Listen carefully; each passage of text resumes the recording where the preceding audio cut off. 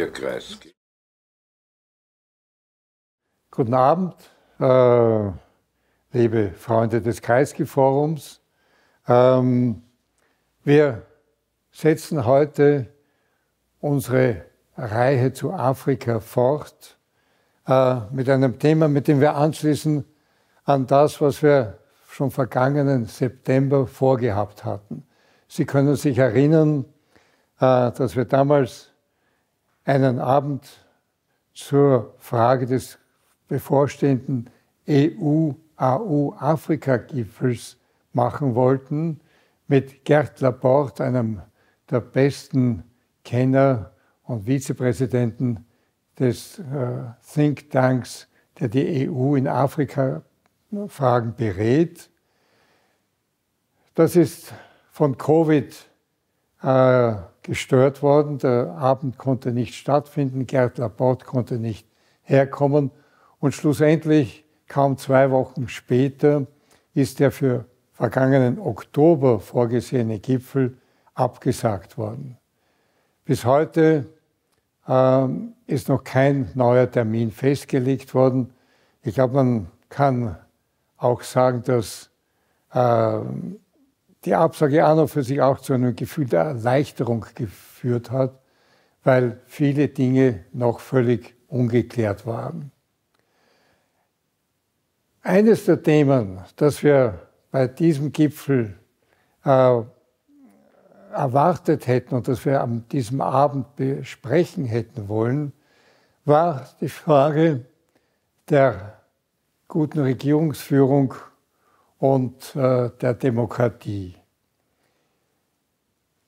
Nun ist es so, dass ähm, der jüngste Afrika-Gipfel, der Gipfel der Afrikanischen Union vor etwa einer Woche, ähm, den Präsidenten der AU-Kommission neu gewählt hat zu einer zweiten Amtsperiode. Es handelt sich um Musa Faki Mahamat, früherer Außenminister und dann Premierminister vom Tschad.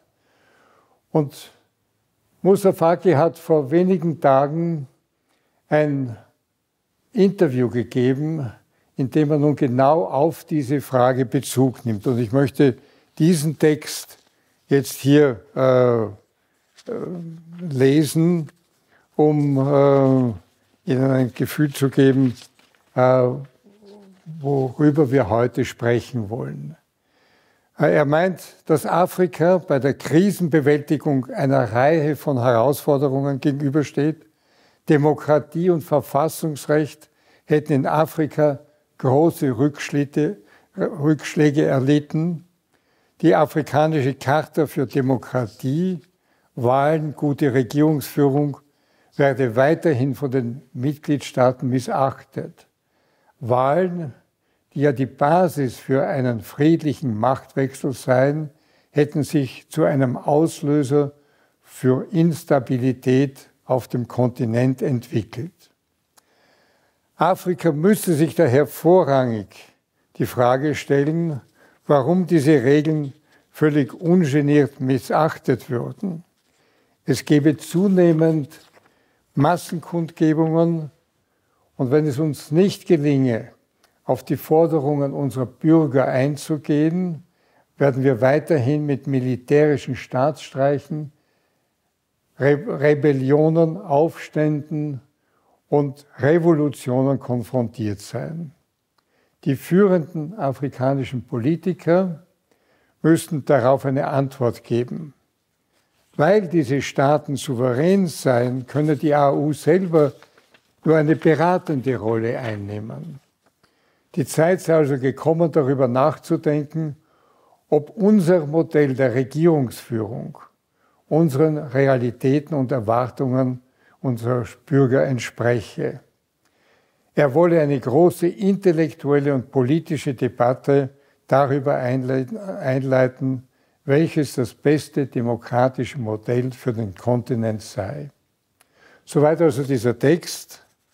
Und ich glaube, wir können ohne weiteres sagen, dass äh, das genau äh, die Themenstellung ist, die wir uns für heute Abend vorgenommen haben. Wir können aber auch sagen, dass hier im Prinzip genau die Fragen angesprochen sind, die auch uns in der westlichen Welt beschäftigen, nämlich die Demokratiefrage und wie wir unsere Demokratie weiterführen. Ähm,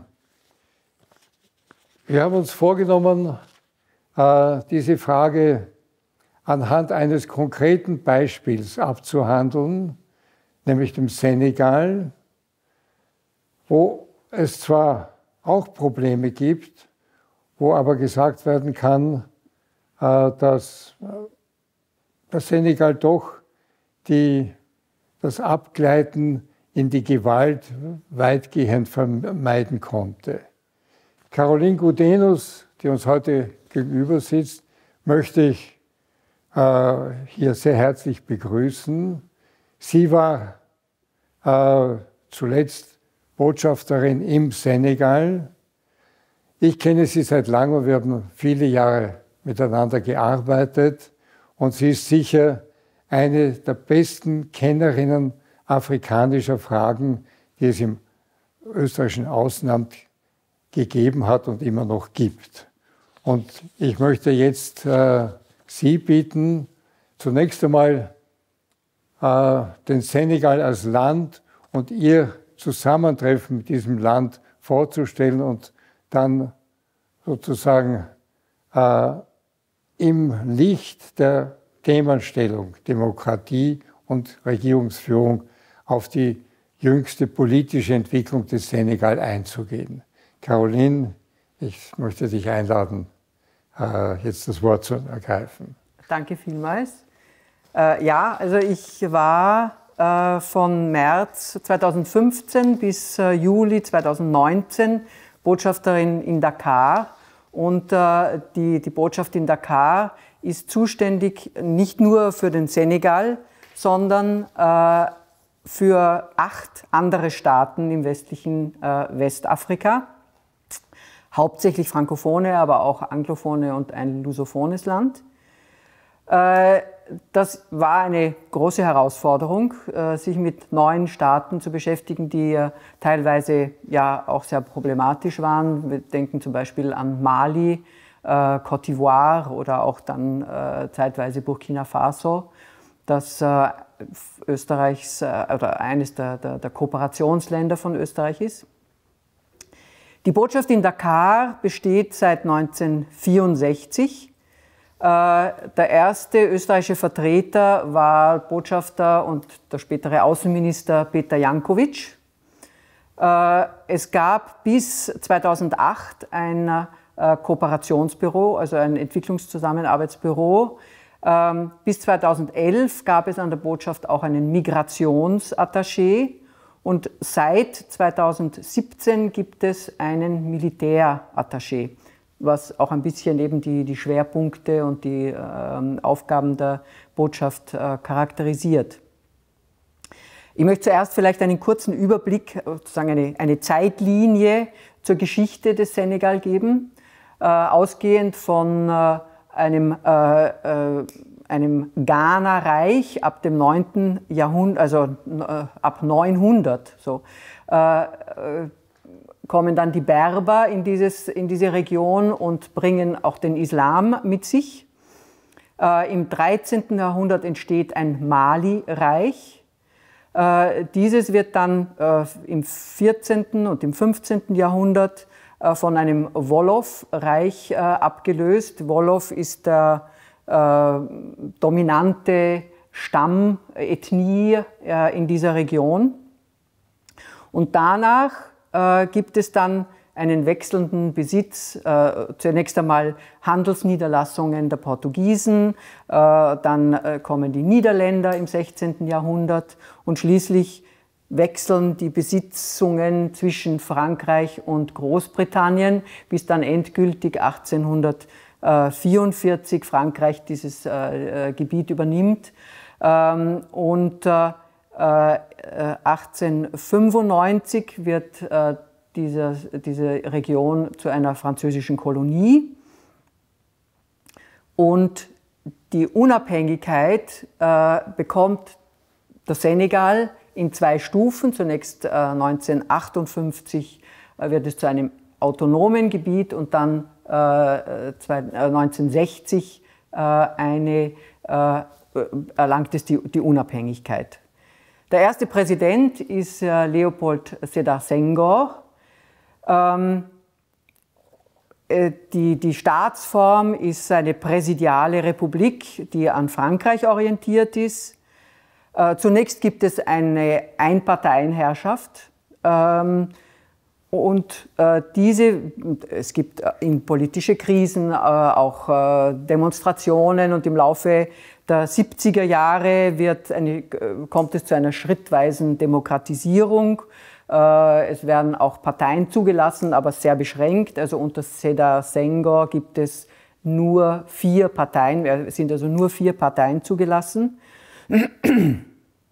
Es gibt Wahlen 1963, 68, 73 und schließlich 78, äh, wo äh, Senghor wiedergewählt wird.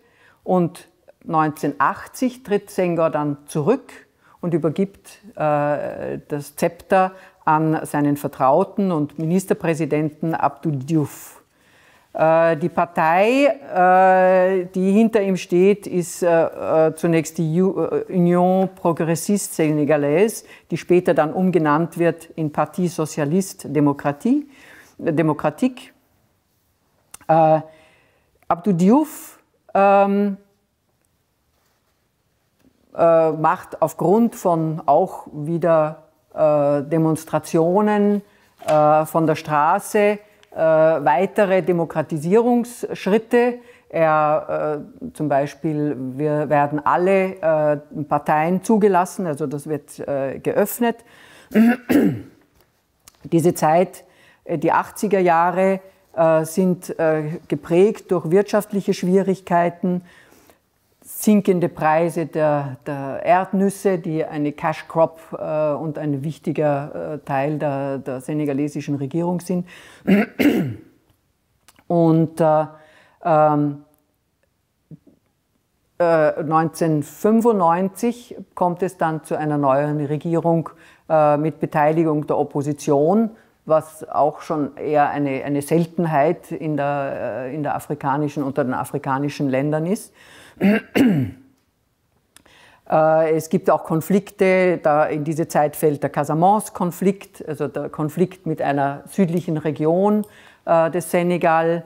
Äh, und 2000 schließlich bricht diese, diese Regierungskoalition auseinander.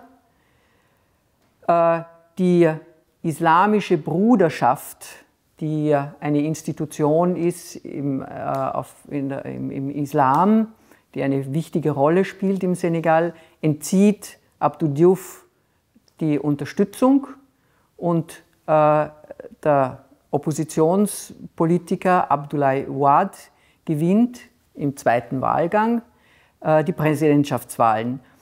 Das wird betrachtet als einer der ersten friedlichen Machtwechsel südlich der Sahara. Vielleicht kann ich jetzt einmal einhaken hier ja.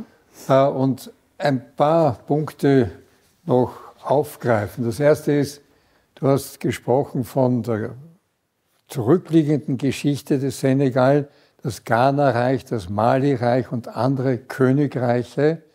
Äh, das ist ja einer der Punkte, äh, der Afrika immer wieder aus der europäischen Sicht her nachhängt, äh, dass wir Afrika sehr oft als geschichtslos betrachten. Ähm, der französische Staatspräsident Sarkozy ist berühmt und berüchtigt geworden für seine Dakar-Rede im Jahr 2007, wo er eine Art Hegel-Paraphrase gebracht hat. Afrika sei noch nicht genügend in die Geschichte eingetreten. Das hat natürlich einen Proteststurm der Intellektuellen ausgelöst. Aber eins muss man hier wirklich sagen. Über lange Jahre hat Europa die äh, Geschichte Afrikas nicht zur Kenntnis genommen, weil es keine schriftlichen Unterlagen gegeben hat. Die Unterlagen für die afrikanische Geschichte findet man in den Reiseberichten, meistens der Araber, schon zu römischen Zeiten hat es Reiseberichte gegeben, die von Herodot oder Plinius gebracht wurden. Es sind heute sehr stark die Ausgrabungen und es ist immer wieder auch die mündliche Überlieferung. Und wir kommen heute äh, dazu feststellen zu müssen, dass es sehr wohl äh, geformte und äh, gestaltete Gesellschaften gegeben hat, äh, die hochgeordnet waren und dass man nicht sagen kann, dass hier erst der Kolonialismus eingetreten ist äh, mit einer demokratischen Ordnung und Afrika hier noch immer nicht weitergekommen sei. Äh, möchtest du sagen? Ja, das, das ist sicher zutreffend. Es hat natürlich vorher auch Institutionen und, und, und ähm, staatliche Strukturen gegeben und der Kolonialismus hat dann seine eigenen äh, darauf äh, gestülpt, teilweise auch die, die bestehenden natürlich äh, vernichtet. Das ist eben auch eine der großen Fragen äh, oder Probleme, äh, die äh, sich mir, die, die, die für mich wesentlich sind, ist, was gibt es für Institutionen, was gibt es für staatliche Institutionen äh, im afrikanischen, in den afrikanischen Ländern? Äh, wie stark sind sie ausgebildet? Äh, wie lang haben sie eine Tradition?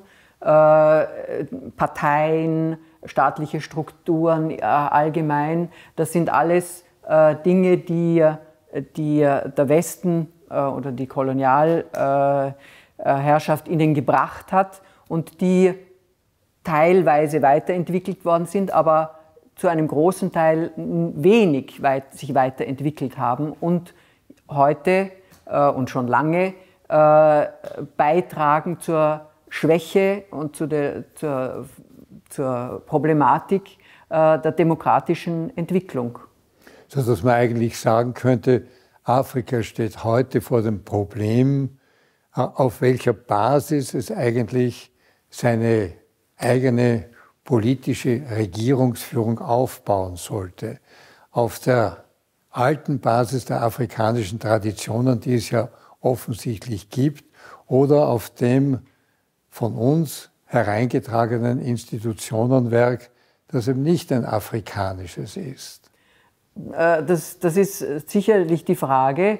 Ähm, äh, es stellt sich allerdings die Frage, was, was ist übrig von diesen afrikanischen Strukturen? Äh, eine fällt mir ein, oder Strukturen kann man nicht sagen, aber äh, von diesen afrikanischen Vorgehensweisen demokratischer Natur. was mir zum Beispiel einfällt, ist ähm, die, wie, find, wie, wie fand und wie findet man in Afrika zu einem Konsens? Was bekannt ist, ist äh, zum Beispiel eben die in den Stammesgebieten oder in Dörfern setzen sich alle Männer hauptsächlich unter einen Baum und palavern. Das ist sozusagen das Bild, das, das wir von, von afrikanischer Konsensbildung haben. Äh, diese Form ist zwar möglich natürlich im kleinen äh, Rahmen, ob sich das umlegen lässt auf, auf Staaten, ist äh, fraglich. Ähm, in gewisser Weise äh, gibt es ein Beispiel, zum Beispiel in Südafrika, wo die, äh, die, die Verfassungsverhandlungen vor den ersten ähm, äh, demokratischen Wahlen 1994 äh, die, die äh, eine ganze Reihe von ähm, Parteien umfasst haben, die haben so lange diskutiert, bis es einen, was Sie genannt haben damals, ausreichenden Konsens gegeben hat. Und äh, für mich ist das ein bisschen so in die Richtung eben ähm, von afrikanischer Vorgangsweise. Also es ist nicht die Mehrheit, äh, die äh, sozusagen den, der, dem Rest äh, ihren Willen aufzwingt äh, oder aufdrückt, sondern man diskutiert eben so lange, bis es einen ausreichenden Konsens gibt. Das wäre meiner Ansicht nach zum Beispiel ein, eine Vorgangsweise, die, die man vielleicht auch auf staatlicher Ebene ähm, durchaus äh, ähm, an, annehmen könnte. Und den sich Musa Faki in seinem angesagten Nachdenkprozess jetzt auch anschauen könnte. Genau. Gehen wir genau, jetzt noch einmal zurück. Wie ist die Geschichte im Senegal weitergegangen? Wir waren im Jahr 2000. 1000. Abdoulaye Wade ist gewählter Präsident. Ähm, wie äh, war die weitere Entwicklung? Ähm, äh, Abdoulaye, äh, Wade äh, hat ähm, auch wieder einige äh, äh, Verfassungsreformen unternommen, unter anderem auch die, die Amtszeit des Präsidenten am Anfang seiner, seiner Amtszeit auf, auf sieben verlängert und dann am Ende seiner Amtszeit, nein, umgekehrt, am Anfang seiner Amtszeit auf fünf und am Ende seiner Amtszeit auf sieben wieder verlängert, äh, so wie sie auch unter Abdou Diouf äh, festgelegt worden ist. Also das ist auch ein Beispiel von ständigen äh, Hin und Her, was die Amtszeiten des, des Präsidenten betrifft. Die Unzufriedenheit in der Bevölkerung äh, ist gegen Ende äh, oder gegen, äh, in, in seiner zweiten Amtsperiode vor allem stark angestiegen, weil es gab von ihm äh, sehr äh, große ähm, Projekte, die, die sehr viel Geld verschlungen haben, die aber dem, äh, der Bevölkerung nicht sehr viel gebracht haben. Ähm, zum Beispiel äh, die riesige äh, Statue der afrikanischen Renaissance, äh, die bei der Bevölkerung großen Widerstand hervorgerufen haben, aber auch andere. Äh, und es wurde eben auch äh, kritisiert, dass sehr viel in die Taschen verschiedener Politiker investiert wurde, zum Beispiel auch dem Sohn von Abdullah Wad, Karim Wad, der mehrere Ministerien unter sich hatte, die alle zu tun hatten mit mit äh, Infrastrukturbauten und Projekten und äh, überall, wo man also äh, was abschöpfen kann, äh, was äh, auch die möglich, auch die, die äh, eine Tatsache oder eine, eine, eine Vermutung war.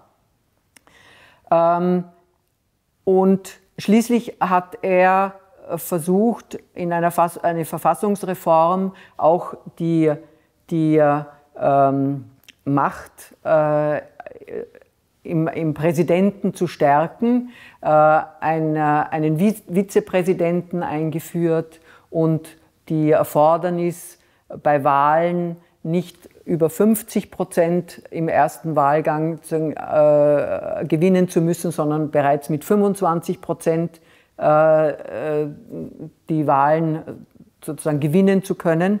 Das hat schließlich dann eine Zivil äh, Gesellschaft auf den Plan gerufen, die also ganz vehement sich gegen diese Verfassungsreformen gewendet hat.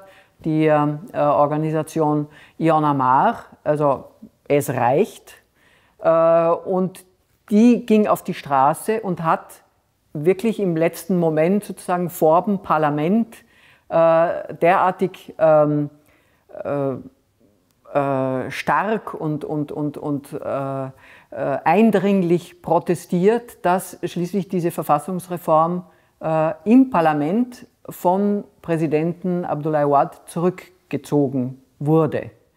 Also da sieht man, dass die Straße da einen sehr großen Einfluss gehabt hat. Äh, das war 2011. 2012 haben dann Wahlen stattgefunden und Ion Amar hat sich, hat sich äh, hinter den äh, stärksten Konkurrenten von Wad äh, gestellt, der Macky Sall, ähm, der dann auch im zweiten Wahlgang äh, die Wahlen äh, gewonnen hat.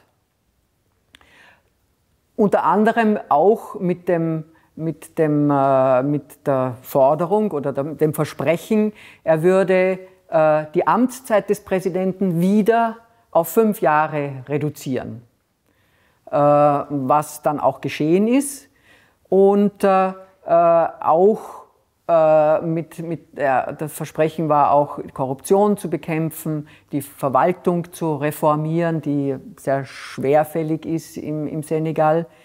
Ähm, das ist äh, nur sehr teilweise gelungen. Also die, äh, die Verwaltung, äh, Ver Verwaltungsreform, ähm, äh, zum Beispiel diese Doppelgleisigkeit zwischen Ministerien und den operationellen Armen dieser Ministerien, den Agenturen, wie sie heißen, äh, die betrachtet wurde einfach als Posten äh, Lieferant, die wurde, das ist ihm also nicht gelungen, das äh, zu beseitigen. Vielleicht kann ich jetzt noch einmal einhaken. Wir haben jetzt schon eine ganze Reihe von Elementen identifiziert, äh, die hier zum Tragen kommen. Das Stärkste ist wohl offensichtlich immer die Persönlichkeit und die Rolle des Führers, des Präsidenten, ähm, äh, was immer wieder herauskommt. Die andere Frage äh, war die der Rolle einer Zivilgesellschaft, die du zum Schluss erwähnt hast. Es gibt Unzufriedenheit, die sich dann in Protesten entlädt. Was nicht wirklich noch zur Diskussion gestanden ist, du hast es erwähnt, Parteien. Ähm, wie vermischt sich jetzt diese Frage Präsident, Zivilgesellschaft, Parteien? Und ein Thema, das ich vielleicht auch hereinbringen möchte, ist die Frage der Rolle der Nationalitäten, der Ethnien in diesem äh, Zusammenhalt. Welche demokratische Rolle spielen diese einzelnen Elemente? Also äh, im Senegal äh, ist vielleicht etwas speziell.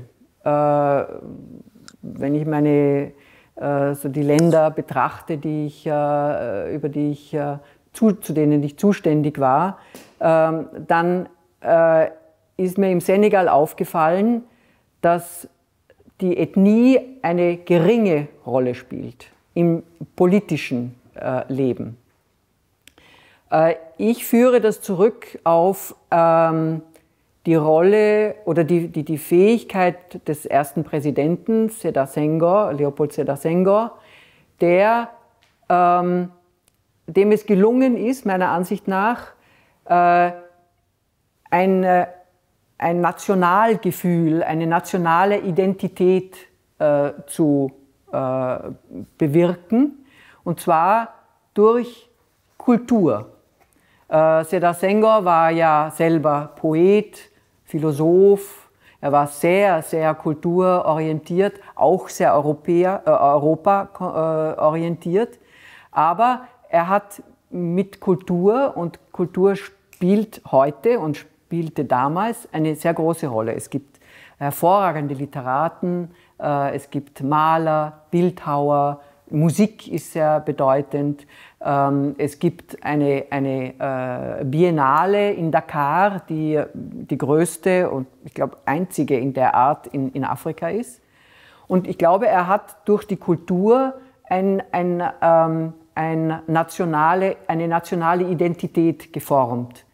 Ähm, er hat äh, zum Beispiel äh, äh in, in den ersten Jahren seiner äh, Amtszeit oder äh, nach der Unabhängigkeit waren etwa 30 Prozent des Budgets gingen in äh, Kulturprojekte, was also schon gewaltig ist. Vielleicht könnte ich hier einwerfen, für alle, die das vielleicht schon hier im Kreisgeform auch verfolgt haben, wir hatten genau im Bereich Kultur bereits einige Veranstaltungen, eines war die Präsentation von Sheikh Hamidou Khan und seinem Roman äh, L'Aventure ambiguë, äh, das zweifelhafte Abenteuer. Ähm, der deutsche Titel hat damit nichts zu tun. Die äh, Probleme des äh, Musa Samba. Ähm, L'Aventure ambiguë ist ein Schlüsselroman, nicht nur für Senegal, sondern für ganz Afrika. Die, äh, der Zusammenstoß zweier Kulturen, jene der Kolonisatoren und die eigene afrikanische Kultur. Das spielt bis heute eine Rolle, die man absolut nicht unterschätzen darf. Wir hatten auch äh, die Migrationsfrage anhand eines Romans und eines Films abgehandelt äh, von äh, Ablase Dion. Ähm, und äh, äh, letzten Endes hat immer wieder mitgeschwungen, auch bei einigen dieser Diskussionen, die, äh, das Romanwerk von ähm, Sam Ben, äh, der ja äh, in Senegal lange verboten war, weil er extrem regimekritisch geschrieben hat. Ähm, okay.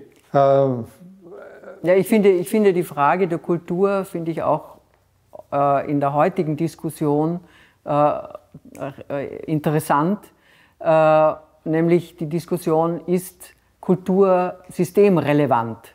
Also ich denke, im Senegal war sie durchaus äh, systemrelevant und hat eben dazu beigetragen, dass Ethnien eine sehr, eine sehr geringe Rolle spielen im Verständnis der Senegalesen äh, als Nation.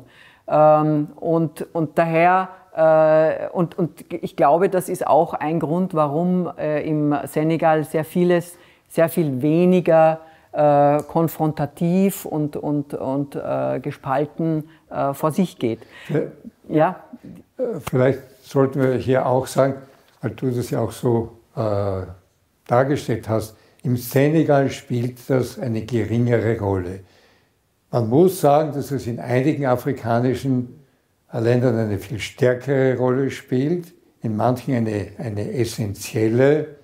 Äh, ganz sicher in Kenia ist das Ethnienproblem ein wesentliches.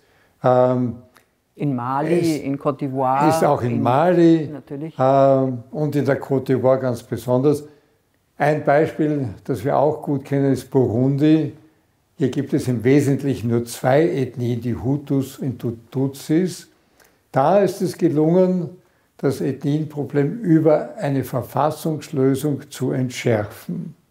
Äh, ob das letztendlich halten wird, das muss man noch abwarten. Äh, du hast Parteien auch angesprochen. Ähm, im, Im Senegal gab es unter Senghor zunächst einen Einparteienstaat äh, und dann später hat er vier Parteien zugelassen und unter Abdou Diouf äh, gab es dann eine ganze äh, Vielzahl von Parteien.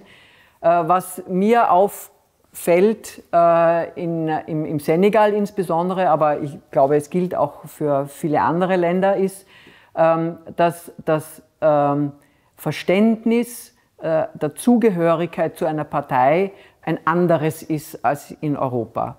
Äh, also im Senegal war es so, dass vor Wahlen ähm, sind Parteien entstanden, es sind Parteikoalitionen entstanden, auch wieder zerfallen.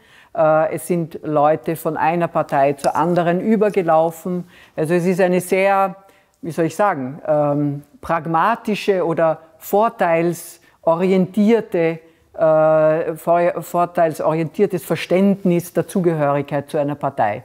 Was sicherlich auch darauf zurückzuführen ist, dass es nicht wie es in Europa eine äh, gewachsene Parteien gibt. Also in Europa sind, äh, sind die Parteien äh, äh über die Jahrhunderte gewachsen. Das gibt es in, in, äh, äh, in Afrika nicht. In sehr vielen Ländern, anderen Ländern, nicht im Senegal, sind Parteien auch Ethnien basiert.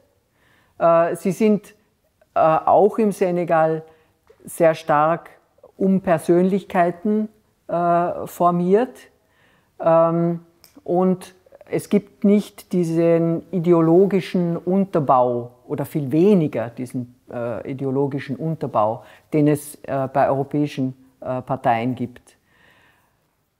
Okay, vielleicht ganz kurz. Ich meine, in Europa gibt es diesen Unterbau, ganz sicher einen gesellschaftspolitischen und ideologischen Allerdings müssen wir auch sagen, dass dieses Verständnis von Parteien heute in Frage gestellt wird, zum Teil auch mit Megaproblemen, mit denen wir konfrontiert sind.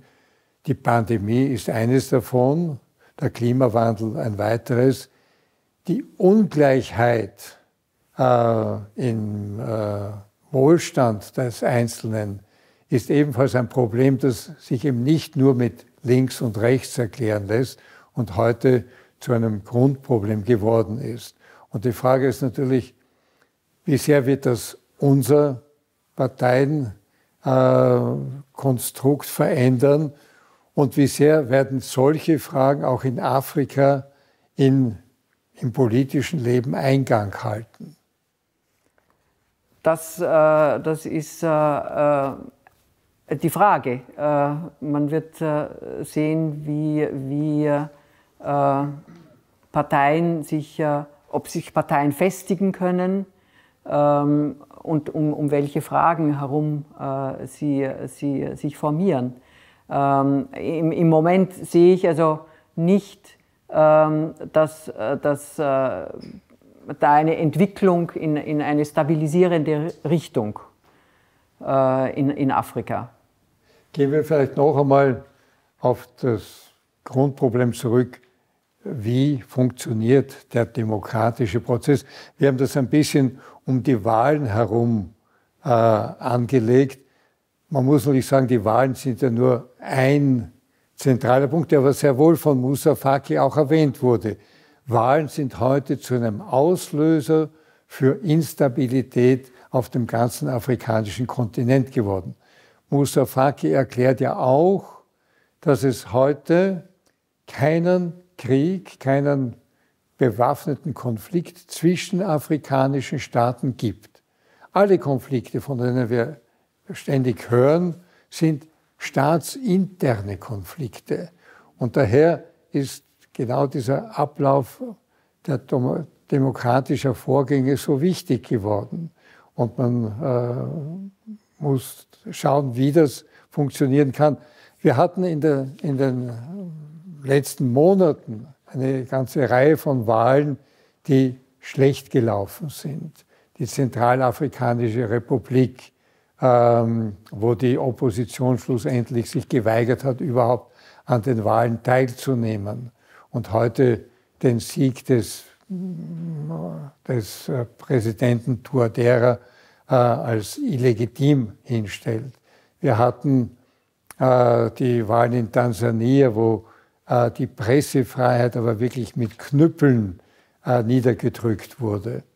Äh, wir hatten die Wahlen in Uganda, Uganda ein Paradeland eines fortschrittlichen Präsidenten. Heute ist er bereits bei seinem sechsten ähm, Mandat und das Ende ist nicht abzusehen. Ähm, es sind, und für das Jahr 2021 sind eine ganze Reihe von weiteren Wahlen vorgesehen, die alle äh, mit solchen Problemen zu tun haben. Allerdings darf ich da ein bisschen einfallen auch. Äh, es gibt auch positive Beispiele. Äh, aus meinem, nur aus meinem Amtsbereich.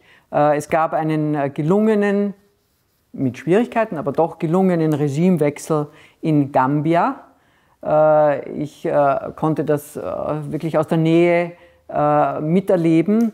Yahya Jammeh wurde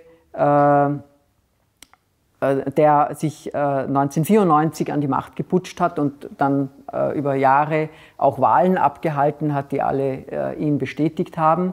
Es haben dann im Jahr 2016 hat sich dann endlich die Opposition auf einen äh, Politiker, äh, einen Kandidaten äh, einigen können. Es wurden wieder Wahlen abgehalten. Jameh war sich so sicher, dass er die gewinnt, dass er also ganz äh, äh perplex, perplex war, dass dann äh, die Wahlen nicht für ihn ausgegangen sind.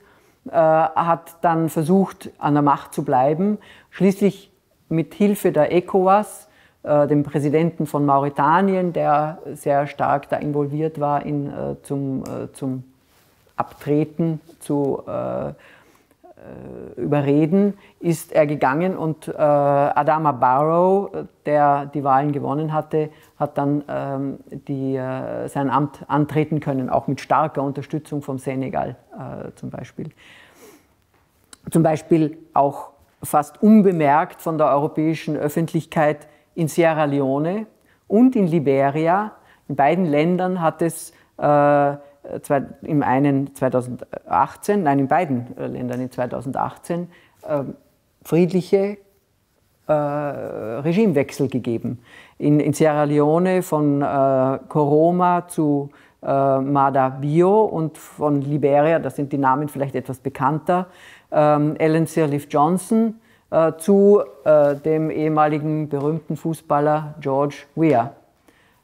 Da äh, gab es Wahlen und einen Regimewechsel und der fand äh, reibungslos, mehr oder weniger reibungslos äh, statt. Dass wir alle ein Opfer einer Medienkultur sind, wo eben die äh, negativen Nachrichten viel interessanter sind, wenn es einen Putsch gegeben hat oder äh, sich prügelnde äh, Massendemonstrationen gegenüber von Polizisten, äh, dann ist das äh, eine Nachricht wert.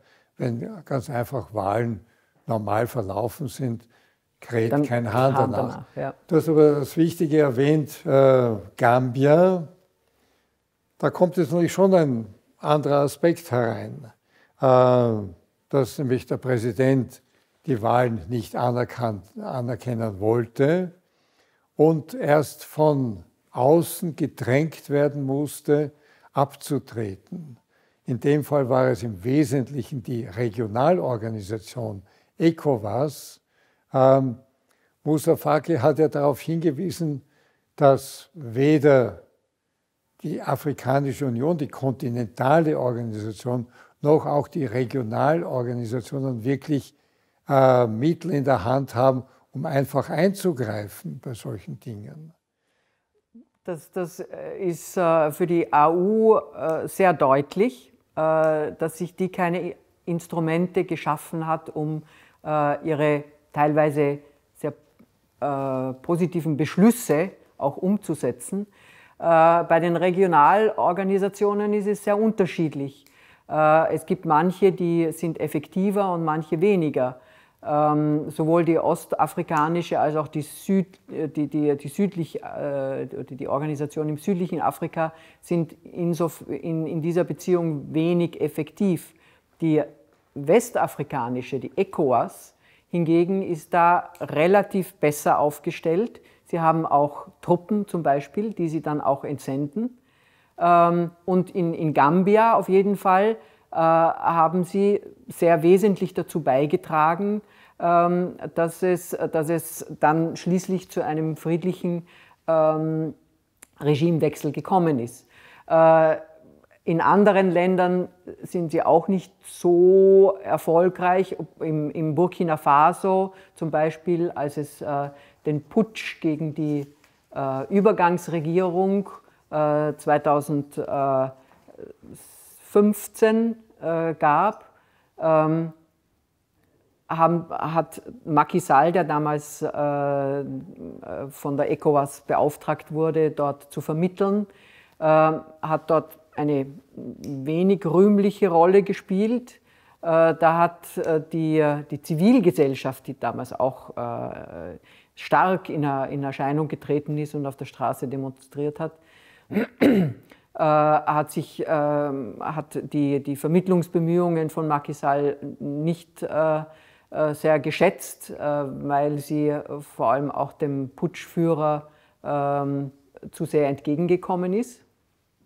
Ähm, äh, aber sehr wesentlich war damals die Rolle des Militärs. das ist vielleicht auch ein Punkt, den, den, den ich noch herausstreichen würde. Ähm, in den verschiedenen Ländern, wie ist die Rolle des Militärs. Äh, äh, Im Senegal zum Beispiel spielt das Militär keine Rolle, politisch. Äh, die sind also komplett apolitisch ähm, und, und spielen dort keine Rolle. wie man sieht, in sehr vielen anderen Ländern der Region und in ganz Afrika ist das anders.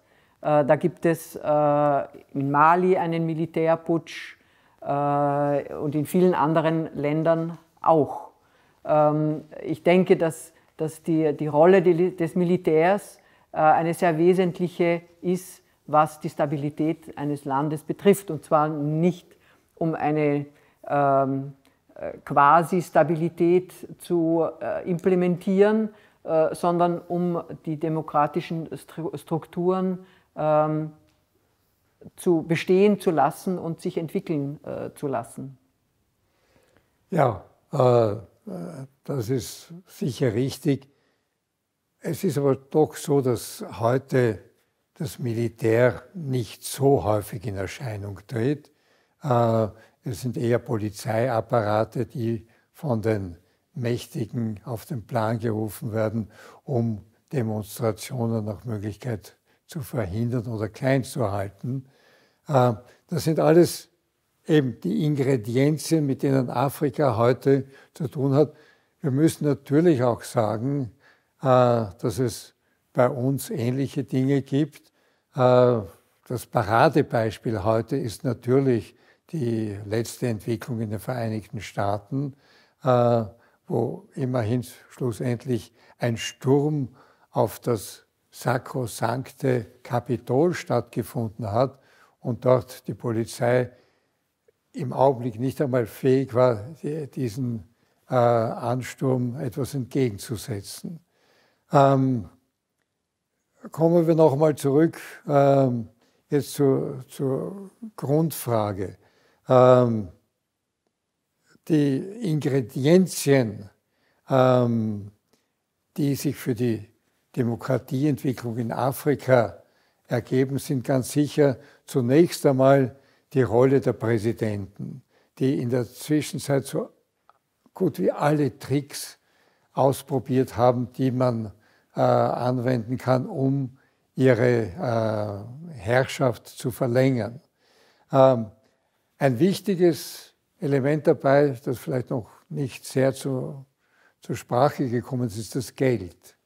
Äh, du hast erwähnt die Korruption. Der Sohn von Abdullah Wad äh, hat jede seiner, äh, jede seiner Mandate, seiner Ministerposten benutzt, um Geld abzusagen und wieder damit seine Machtposition zu stärken. Ähm, es hat einen sehr lobenswerten Versuch gegeben, eines afrikanischen Großunternehmers Mo Ibrahim, der im Sudan äh, ein Mobilfunknetz aufgebaut hat und damit so viel verdient hat, dass er eine eigene Stiftung gegründet hat, die Mo Ibrahim Foundation. Und er hat dann etwas getan, das alle überrascht hat. Er hat einen Preis ausgesetzt für jeden afrikanischen Staatschef, der verfassungsmäßig zurücktritt und sich zurückzieht. Ähm, und das war ein Preis, der nicht gering ausgestattet war. Fünf Millionen Dollar, ein Jahresgehalt von 200.000 Dollar, glaube ich, ein eigenes Büro. Seit 2005 haben bisher nur sechs afrikanische Staatschefs dafür äh, wirklich äh, die Voraussetzungen mitgebracht, um den Preis bekommen zu können. Äh, in den übrigen Jahren hat es das nicht gegeben. Das heißt, nicht einmal ein solches großzügiges Angebot hat die Leute dazu veranlasst, den, ihren eigenen Weg, nämlich einfach an der Macht zu bleiben, zu verlassen. Äh, das, äh, das ist richtig. Ähm, und ähm, man sieht, dass in, in, bei sehr vielen äh, Präsidenten, die versuchen, die Verfassungen äh, in die Richtung zu ändern, äh, um eben an der, an der Macht zu bleiben. Äh, auch im Senegal war das immer wieder der Fall und sogar äh, Macky Sall äh, heute schließt nicht aus, dass er entgegen seiner eigenen Verfassungsreform äh, zu einer dritten Amtszeit antritt. Äh, mit dem Argument, das von vielen äh, seiner Kollegen auch äh, vorgebracht wird, dass nämlich nachdem eine Verfassungsreform implementiert wurde, sozusagen die Zählung wieder von vorne anfängt. Das heißt, die erste Amtszeit gilt nicht, weil er in der zweiten eine Verfassungsreform, nämlich die Verkürzung der Amtszeit, ähm, vorgenommen hat und Daher zählt erst die erste fünfjährige Amtszeit als die erste und daher kann er noch eine dritte anhängen. Es geht darum, äh, um diese Präsidenten, um ihren Machterhalt, um äh, ihnen die Möglichkeit zu bieten, äh, teilweise ihre, äh, ihr Einkommen weiter äh, zu äh, gelang, äh, an, an, ihr Einkommen zu gelangen ähm, äh, und teilweise auch, um äh, gefeit zu sein vor, äh, vor Verurteilungen äh, möglicher äh, Vergehen, sei es nun ähm, finanzieller Art, aber in manchen Ländern auch zum Beispiel menschenrechtlicher Art. Und da spielt wieder meiner Ansicht nach die, die Afrikanische Union eine große Rolle, die äh, zwar einen, Afrikan einen afrikanischen Gerichtshof eingerichtet hat, der auch Menschenrechtsvergehen äh, urteilen, über äh, Menschenrechtsvergehen urteilen sollte, dann aber äh, ein, eine Änderung vorgenommen hat und gesagt hat, ähm, regierende Amtsträger dürfen nicht, also haben Immunität. Was natürlich zur Folge hat, dass jeder regierende Amtsträger versuchen wird, möglichst lang äh, im Amt zu bleiben, um nicht in Gefahr zu laufen, äh, wegen Menschenrechtsverletzungen äh, verschiedenster Art ähm, vor Gericht gestellt werden zu können. Das ist meiner Ansicht nach ein, ein sehr fatales Zeichen für sehr viele, ähm, äh, ihre Amtszeit so möglichst, möglichst lang hinauszuziehen, um dem zu entgehen. Und es hat schon einen Fall jedenfalls gegeben, wo ein Präsident im Gegenzug für eine Verkürzung einer Amtszeit gefordert hat, eine lebenslange Immunität. Gehen wir noch einmal zurück zur Frage Zivilgesellschaft. Äh, was ist das eigentlich in Afrika? Äh, Musa Faki hat ja ausdrücklich davon gesprochen, es gibt immer mehr Massenproteste. Er spricht, dass das ausarten kann in Revolutionen oder dass Militärs daraus eine Legitimation für einen Staatsstreik sehen. Ähm, wie schaut das äh, in Afrika wirklich aus? Äh, Zivilgesellschaft ist äh, grundsätzlich vorhanden, teilweise in sehr kleinen Gruppen, ähm, Dorfgruppierungen, die sich um Projekte äh, kümmern. Ähm, auf einer großen Basis ist es meist, entsteht es meist in, ähm, äh, in Opposition zu Regierungen, äh, sozusagen spontan, wie zum Beispiel eben Ion Amar, das ich schon erwähnt habe im Senegal, oder Le Ballet Citoyen in, in äh, äh Burkina Faso, die äh, äh, den langjährigen Präsidenten Compaoré äh, abgesetzt haben. Ähm, äh, sie haben aber nicht, auch nicht so ähnlich wie Parteien, nicht diesen Zusammenhalt, den wir zum Beispiel in Europa kennen. Äh, sie entstehen, auch Ion Amar ist heute äh, viel weniger präsent, als es eben zur Zeit 2011 vor den Wahlen ähm, war. Ähm, also äh, es gibt dann natürlich daneben auch äh, Menschenrechtsorganisationen, äh, die, die, die sich um, um gewisse Themen äh, gruppieren. Aber es ist meiner Ansicht nach nicht äh, so, ähm, äh, so stabil oder so, so gefestigt wie, wie unsere Organisation. Zum Großteil werden diese Organisationen auch von Europäischen unterstützt. Also die leben quasi von den Finanzen und von der auch Expertise und, und, und, und Unterstützung äh, europäischer Organisationen, haben daher wenig ähm, äh, eigene Ressourcen äh, finanzieller Art.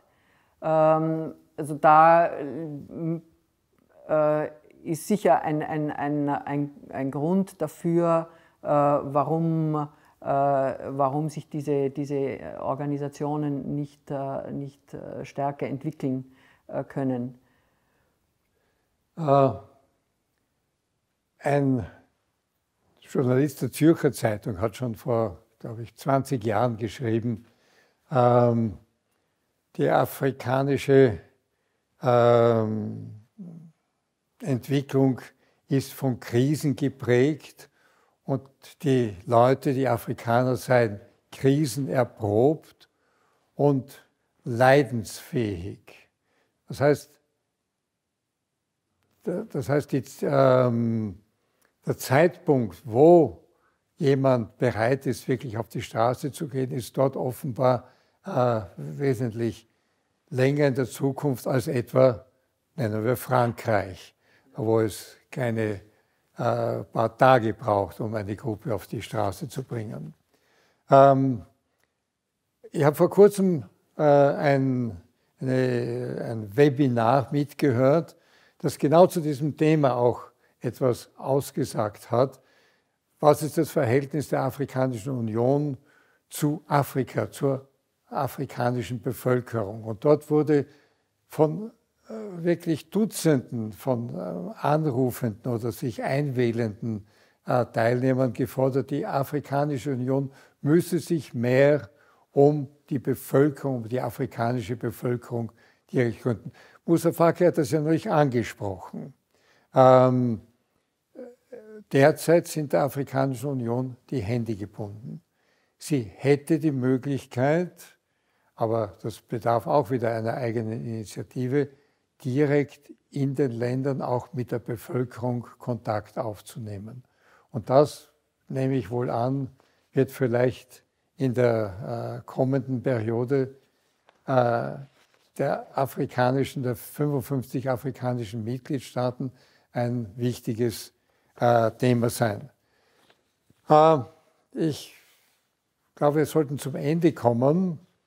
Ähm, ich glaube, wir haben einiges herausgearbeitet hier an äh, Punkten, die wichtig sind in diesem Diskussionsverhältnis zwischen Europa und Afrika zu diesem Kernthema. Wir wissen, dass wir in Europa selber auch äh, mit großen Demokratieproblemen konfrontiert sind, so wie Afrika. Vielleicht wäre es interessant, diesen Diskussionsprozess, den wir beide brauchen, von Zeit zu Zeit miteinander zu koppeln und zu sehen, ob wir nicht auch hier gemeinsame Probleme und gemeinsame Lösungsansätze finden.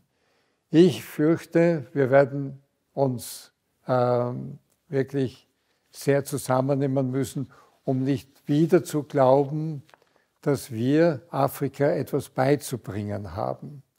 Ich glaube, es ist klar, und das ist auch die Aussage, die wir hier haben von Musa Faki, Afrika muss selber sein eigenes Modell entwickeln. Ähm, ich möchte hier am Ende äh, noch ein äh, Zitat bringen, das hier vor zwei Wochen äh, entstanden ist in, einer, in einem Festvortrag von Franz Schuh. Ähm, zum 110. Geburtstag von Bruno Kreisky, das war am 22. Jänner. Ähm, Franz Schuh hat sozusagen zur Politik und Demokratiepolitik Kreiskys geredet. Und hier habe ich nur ein ganz kurzes Zitat herausgegriffen. Kreisky war wahrlich ein politisches Lebewesen, das einen großen Teil seiner Kräfte in die Politik investierte. Politik, sie unbedingt ausüben zu müssen, definiert manche Menschen und manche Menschen definieren ihrerseits die Politik, die nach ihrem Wirken nicht mehr dieselbe sein kann wie zuvor. Menschen sind Wesen, denen nichts anderes übrig bleibt, als durch Politik die Vielheit der Einzelnen zu einer nicht auseinanderbrechenden Einheit zu modellieren. Und ich glaube, diesen Satz können wir uns genauso wie Afrika vornehmen als einen Leitfaden für die kommenden Jahre und Jahrzehnte wahrscheinlich. Ich danke dir vielmals für die Zeit, die du dir genommen hast und für die Vorbereitung. Und ich hoffe, wir können ähnliche Themen äh, in, der, in den folgenden Monaten hier aufgreifen. Danke vielmals.